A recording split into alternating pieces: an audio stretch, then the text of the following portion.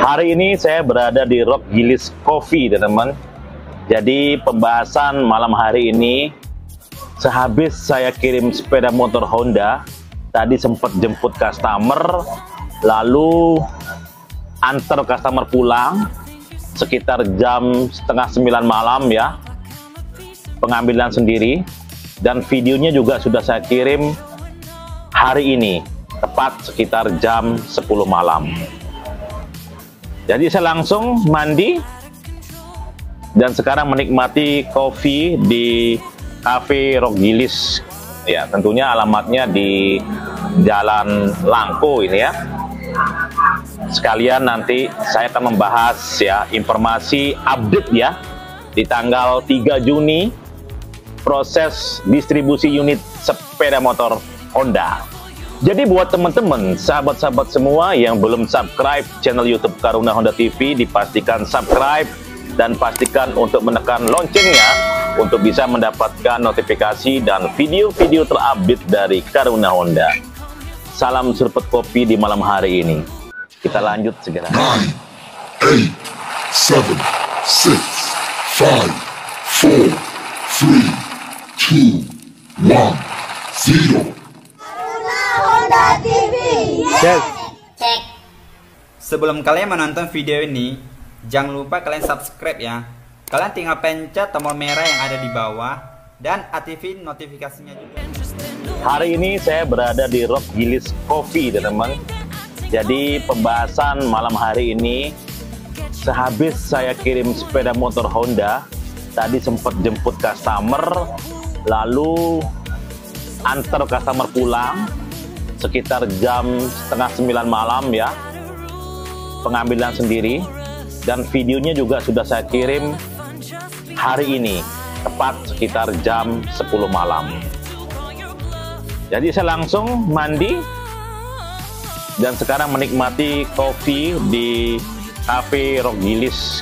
Ya tentunya alamatnya di Jalan Langko ini ya sekalian nanti saya akan membahas ya informasi update ya di tanggal 3 Juni proses distribusi unit sepeda motor Honda.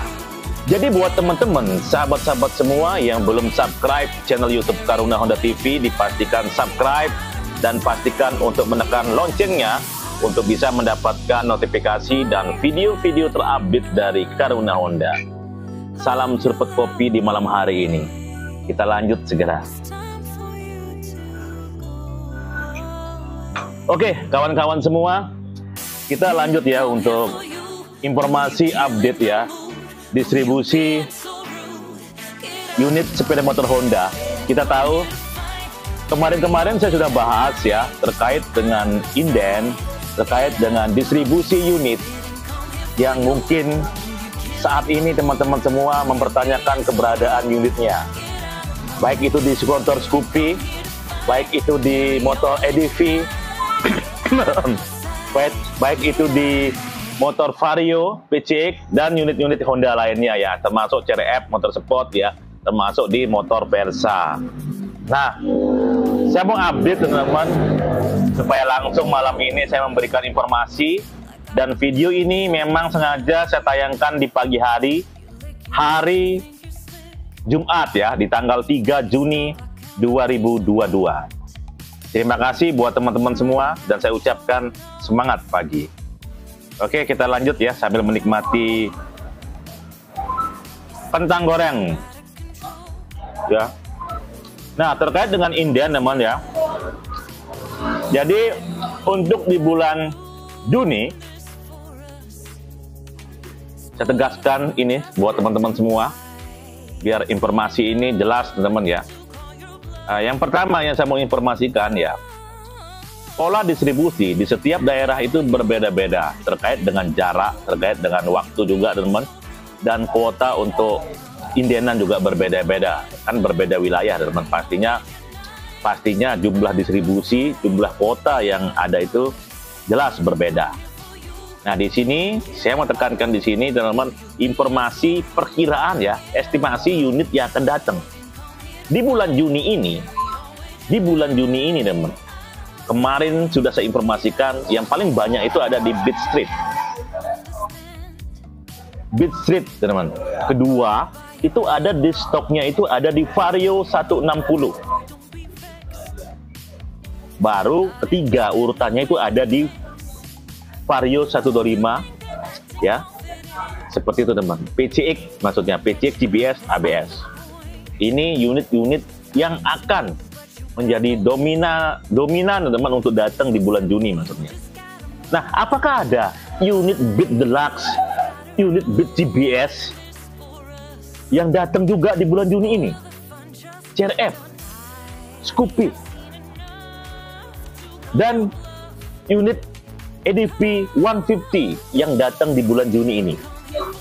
Nah, informasi sementara yang bisa saya sampaikan teman-teman unit yang datang di bulan Juni ini itu ada di Beat Street Hitam.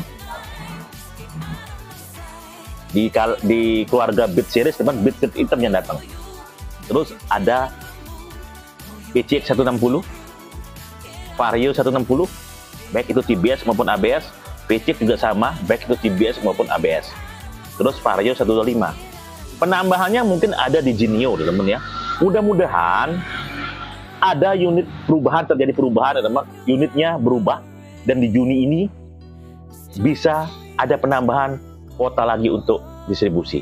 Ini hanya perkiraan teman menurut saya yang akan datang.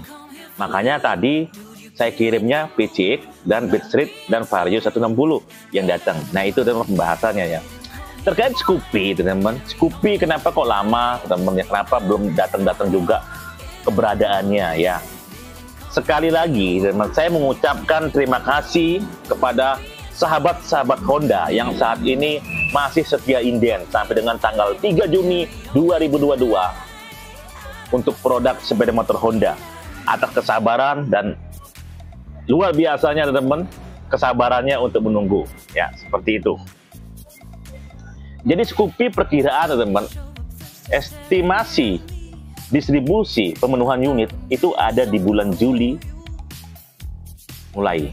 Tapi kita belum tahu dengan perubahan yang terjadi.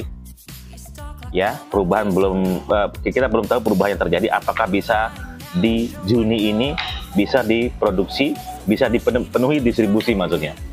Karena sekali lagi teman-teman, saya ulang-ulang lagi lagi, saya tekankan di sini. Unit Honda ini banyak. Baik di tipe Mythic teman, baik di tipe Sport, ya baik di tipe bebek juga itu banyak. Dan pengirimannya pasti bertahap. Nah karena bertahap ini kita akan menuju pemenuhan distribusi. Mudah-mudahan uh, pergerakan membaik teman dan unit-unit itu bisa sampai ke tujuan. Oke saya membawa kopi hari ini kopi hitam kopi tanpa gula seperti biasa. Karena kita habis ketemu dengan customer ya tentunya saya harus uh, menikmati santai dulu teman. Sambil menikmati kopi mencari inspirasi mencari informasi-informasi untuk pemenuhan uh, distribusi besok ya di tanggal 3 Juni. Mudah-mudahan konsumen kita bisa banyak mendapatkan unit ya khususnya yang inden-inden wow mantap salam kopi teman-teman buat teman-teman semua saya juga menikmati pisang ya. Ini pisang goreng ya. Menunya di Rock Gilis. Hmm. Ini iklan ya teman ya. Hmm. Belum makan malam. Tahu kan? Yang ngirim malam hari demi layanan teman. Kebetulan video yang saya kirim sebelumnya itu customernya uh, menikah ya. Tentunya kadonya diberikan PCX 160 dan momen spesialnya tepat ya uh, PCX 160 saya kasih itu saat momen pernikahannya selesai. Jadi di bulan Juni. Dan customernya sangat bersyukur ya. Betul sambil makan ya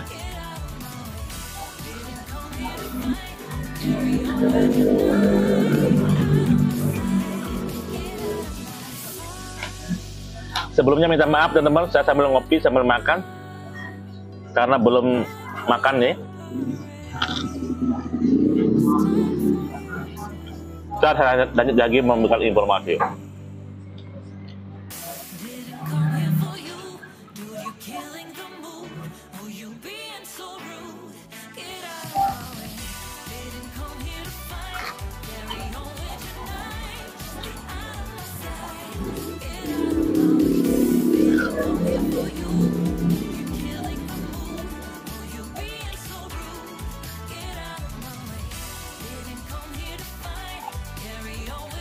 Oke.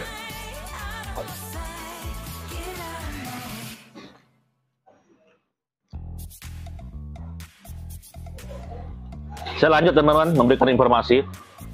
Jadi buat sahabat-sahabat Honda untuk unit teman-teman ya. Untuk unit sport memang belum dapat saya update ya detail untuk informasinya Mudah-mudahan besok saya bisa memberikan informasi sekitar siang ya. Jam 1 siang saya akan membuat videonya buat teman-teman untuk real, untuk informasi spot teman ya. Sementara, untuk di bulan Juni, unitnya yang tadi saya sebutkan, mudah-mudahan ada penambahan lagi unitnya. Uh, besok juga saya cari update-nya teman-teman supaya lebih jelas ya. Karena sekali lagi, dari Sabang sampai Maroke teman-teman, unit ini memang bertahap untuk pemenuhan distribusi bertahap untuk pemenuhan distribusi sehingga dibutuhkan waktu teman dan saya yakin uh, pabrikan akan mempercepat produksi ini teman untuk mengurangi Indian bahkan pemenuhan 100% Indian ini. Kita tahu teman uh, unit di Honda itu berbagai warna berbagai tipe. Di antara Matic teman kita tahu berapa jenis ya. Ada EDV 150 ada PCX 160 ya Terus ada Scoopy, ada Genio, ya. Terus apa? Ada motor apa lagi, teman? Vario 125 Beat Series, ya banyak ya, teman-teman ya. Nah itu kan perlu namanya bertahap karena warnanya juga banyak. Perlu proses yang luar biasa. Dan kita usahakan teman-teman, kita kita kejar ya mudah-mudahan krisis chip semikonduktor yang menjadi penyebab utama dalam proses distribusi yang terlambat, teman-teman. Mudah-mudahan bisa terpenuhi. Kita tahu karena eh, chip semikonduktor itu banyak datangnya dari luar negeri, kita impor, teman, sehingga problem terjadi itu karena beberapa penyebab, teman, yang yang mungkin teman-teman sudah tahu di beritanya seperti itu yang berpengaruh di otomotif nasional bahkan dunia teman-teman. Baik itu otomotif untuk sepeda motor otomotif untuk di mobil di elektronik dan di handphone. Pastinya akan ada pergerakan pergeseran teman penurunan untuk penjualan tetapi permintaannya meningkat. Nah ini yang harus dipenuhi teman-teman. Chip semikonduktor itu bukan hanya di motor Honda saja termasuk di produk lain termasuk di mobil ya. Sekali lagi banyak produk teman-teman. Sehingga ini stoknya menipis. Nah itu itu sih penyebab utamanya ya. Tapi mudah-mudahan dengan penjelasan yang sampaikan ini bisa memberikan informasi buat teman-teman perbandingan apa perkiraan motor yang teman-teman pesan sudah sampai mana. Saya yakin teman-teman akan dipercepat. Pokoknya tunggu keajaibannya tunggu telepon dari dealer juga pasti akan memberikan informasi yang yang luar biasa dan sebelum saya akhiri ini teman, saya hanya me me menekankan di sini juga, saya membuat konten ini untuk memberitahu buat sahabat-sahabat Honda di mana berada, sekedar informasi aktivitas-aktivitas saya sehari-hari, dan tentunya informasi sepeda motor Honda karena saya bekerja di Honda juga. Makanya saya informasikan hanya di produk Honda. Dan yang terjadi real ya aktivitas saya di di kota Mataram, Nusa Tenggara Barat. Seperti itu, teman-teman. Kalau terjadi perbedaan di lain, mohon maaf sebelumnya. Ya, namanya manusia teman pasti ada benar dan ada salah. Ya, seperti itu. Jangan dibawa ke lain hati. Ya. Tetap sabar, teman, tetap bahagia. Semoga sahabat-sahabat semua yang memonitor, mem- melihat video saya ini diberikan berkah, rezeki, kebahagiaan bersama orang-orang dicintai. Tetap semangat ya. Semoga motornya bisa cepat sampai di garasi rumah. Untuk informasi lebih jelas, sahabat-sahabat Honda bisa lihat di deskripsi link WA saya. Link WA, klik ya. Terus Instagram Karuna Honda TV plus Facebook Karuna Honda. Mungkin itu saja teman-teman yang bisa saya sampaikan pada malam hari ini. Saya akan lanjut ngopi karena saya bersama kawan-kawan hari ini tidak sempat ngobrol jadinya saat membuat konten ini. Oke, salam seruput kopi di malam hari. Mari kita bersabar untuk menunggu kopi. Eh, menunggu kopi, menunggu motor Honda. Kopi ini, oh ya, hanya ada kopi teman ya. Kopi ini ada arti yang luar biasa sebenarnya di balik kopi ini teman. Jadi huruf K-nya ini teman kedisiplinan. Oh, itu teman. Terus O-nya itu kita harus optimis. Ya. Percaya diri. Terus I, integritas. Jadi kenapa kita harus minum kopi yang tadi itu? Empat kali empat huruf itu mengandung arti yang istimewa. Salam satu hati. Semoga sehat selalu.